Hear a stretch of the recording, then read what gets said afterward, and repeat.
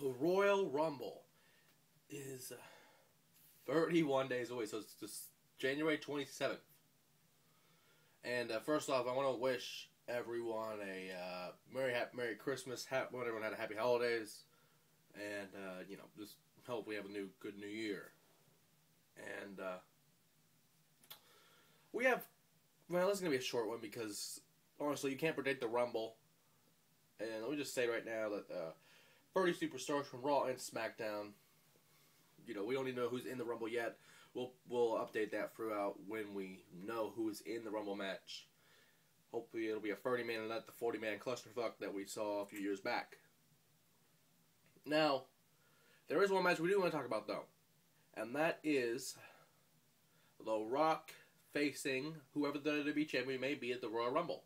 The reason I say that is because CM Punk came off of an injury recently, and he's going to face Ryback at the uh, one not not one thousand, but he uh, at the New Year's edition of Raw.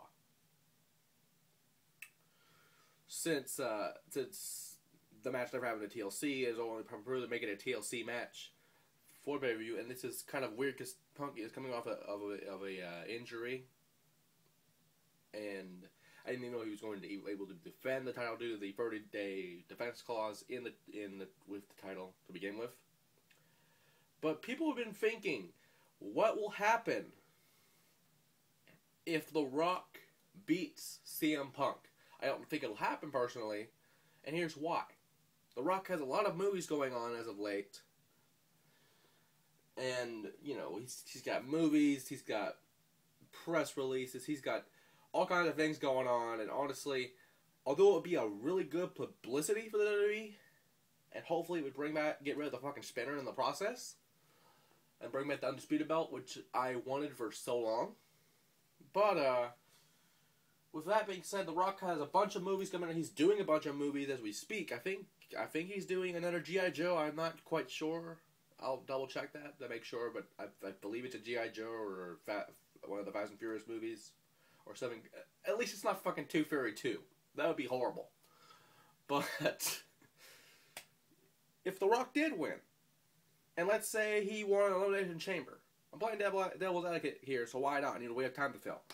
But uh, with The Rock, if he did win, and if he did show up at the Elimination Chamber and won, that would mean whoever won the Rumble could face The Rock at, the, at WrestleMania. And much like if a young gun beat The Undertaker at WrestleMania, ending the streak, a win over The Rock at WrestleMania for the title would be a push, a major push for that superstar, making you, it would make them a legend, a future legend, if I will. You know, and it might actually make them to that next level, to that top tier talent status.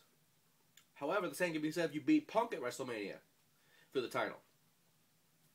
But it all comes down to what will happen this week on Raw. As the new year starts to come, in this 2012, we survived the fucking Mayans. they were wrong, like I've always said. So fuck you Mayans. But by the end of the year, who will be the WWE champion? Who will be in the Rumble? We'll find that out in over a month.